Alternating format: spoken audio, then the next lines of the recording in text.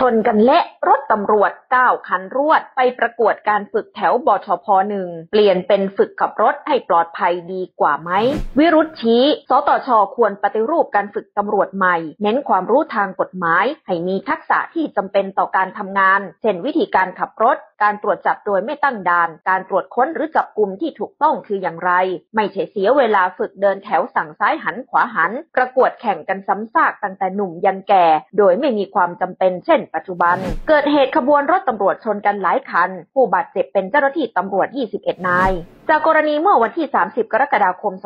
2567 ศูนย์วิทยุร่วมกตัญญูจังหวัดปทุมธานี ได้รับแจ้งอุบัติเหตุรถชนกันหลายคัน บริเวณตรงข้ามโลตัสสาขานวนคร ถนนพหลโยธินขาเข้า ช่องทางด่วนตำบลคลองหนึ่งอำเภอคลองหลวงจังหวัดปทุมธานี จึงประสานเจ้าหน้าที่กู้ภัยเข้าตรวจสอบที่เกิดเหตุ พบรถตู้ตำรวจและรถยนต์ตำรวจ ชนท้ายกันหลายคันได้รับความเสียหาย หน้ารถพังยับเยิน มีผู้บาดเจ็บเป็นเจ้าหน้าที่ตำรวจ 21 นาย บาดเจ็บตามร่างกาย กู้ภัยนำตัวส่งโรงพยาบาลการุญยเวชนวนคร เบื้องต้นมีรายงานว่า ขบวนรถตำรวจทั้งหมด เป็นตัวแทนตำรวจภูธรจังหวัดสิงห์บุรี เดินทางมาประกวดการฝึกที่บชพหนึ่งก่อนจะมาประสบอุบัติเหตุ โดยรถตู้ตำรวจและรถกระบะตำรวจได้รับความเสียหายทั้งสิ้น 9 คัน ขบวนรถตำรวจขับต่อแถวจะมาประกวดการฝึกที่กรุงเทพ เสียหลักชนกัน 9 คัน เจ็บ 21 นาย ถนนพหลโยธินขาเข้า